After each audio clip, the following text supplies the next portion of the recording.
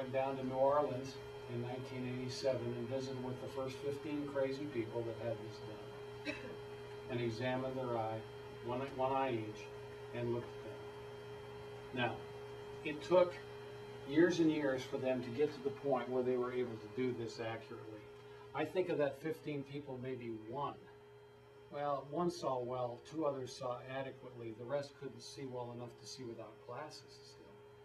But they were all excited as could be about the treatment they had. And none of them had correction that was anything to speak of.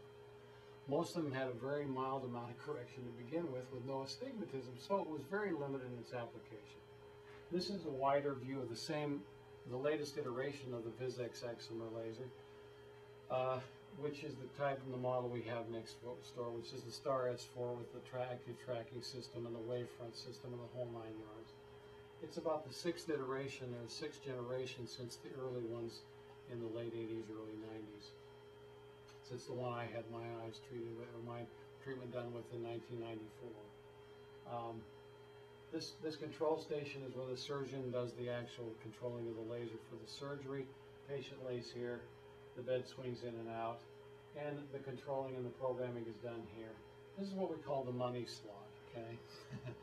this is the encrypted key card slot that you put that card in that will allow you to do a laser treatment. Without that card, you can't do a treatment. That's the way the laser company makes their money. Every eye we treat for a standard laser treatment is $150 for one card. Without the card, it's just the world's most expensive paperweight. Okay? There are about six laser companies now that build excimer lasers that you can buy if you're a, laser surgeon in the United States to do people's treatments.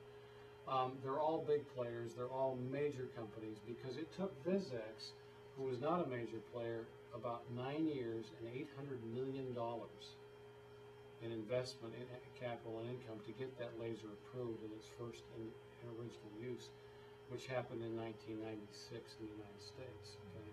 That's a long time and a lot of money.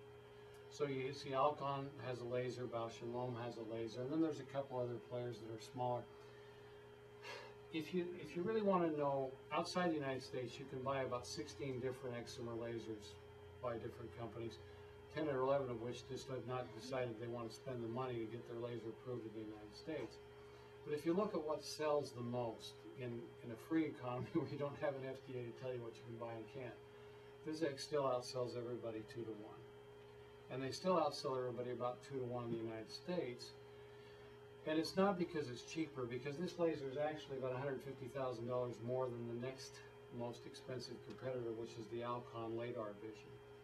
Um, but I think the reason that it sells the most, in fact, I know the reason it sells the most, is because it does the best job of correcting whatever combination correction you might have nearsightedness, farsightedness, astigmatism.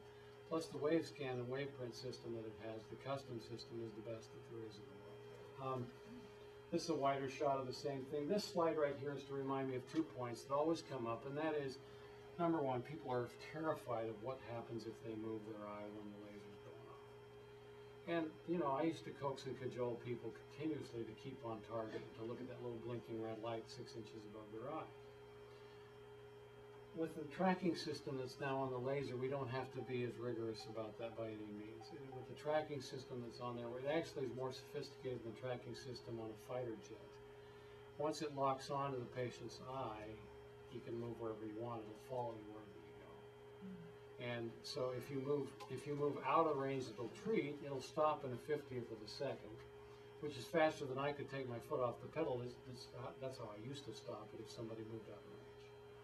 And if you move back into range, it reacquires you and continues the treatment. So it's an amazing device, and the tracking system is amazingly sophisticated.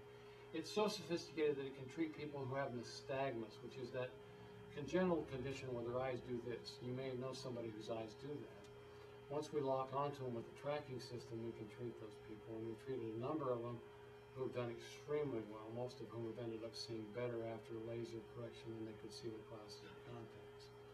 So it's really sophisticated. The other thing is you'd hold your hand underneath there for almost five minutes before you'd feel it doing anything because it vaporizes so little tissue with each pulse. It would take that long to get to a nerve in your hand you could feel.